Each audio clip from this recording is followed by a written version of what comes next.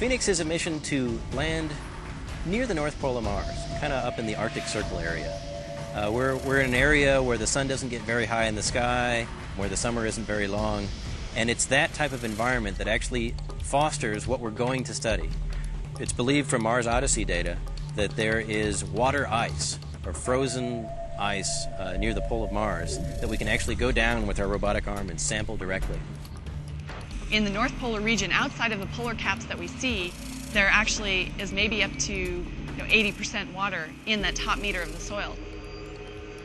So our job is to dig deep, not to drive out like some of the rovers have done in the past. And so we have the robotic arm with its scoop on board our spacecraft to sample the dirt on the top and dig down and sample the ice and deliver those to the onboard experiments.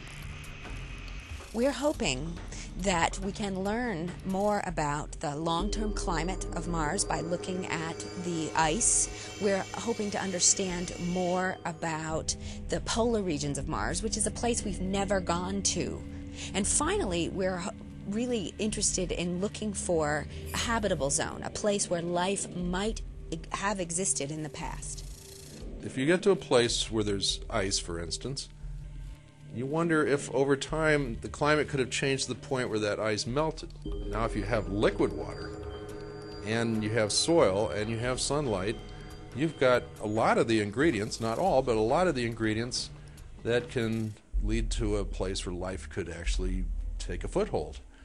And we call that the habitability of the soil. Now, whether life actually did take that foothold and whether the one place we land actually contains that life is a different question.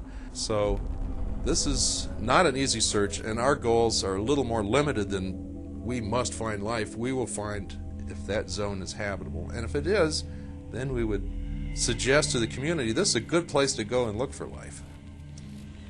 I'm very excited about Phoenix. I came from the Mars Exploration Rovers, and that was a very different kind of mission.